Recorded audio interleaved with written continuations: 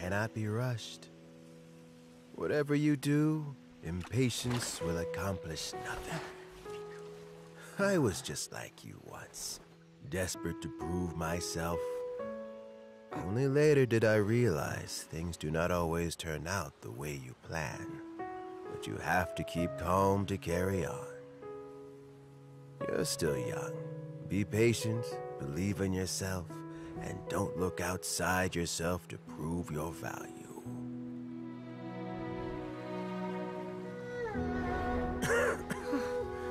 Where's Zhiyi these days? It's been a long time since he last paid me a visit. Maybe he's just busy. well, next time, if he doesn't bring a pot of piping hot fish soup, don't let him in. Whatever you were thinking about, you'll have plenty of to mull it over in prison. Oh, I almost forgot. If the Fatui find out what happened today, prison might not turn out to be the safest place for you.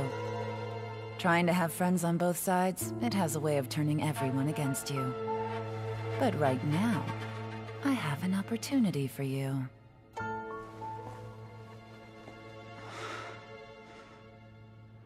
Huh?